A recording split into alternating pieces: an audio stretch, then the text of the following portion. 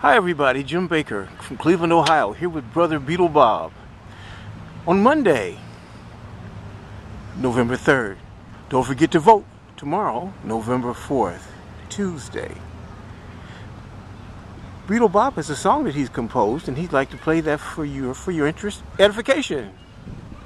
And here we go. Take it away, brother Beetle Bob.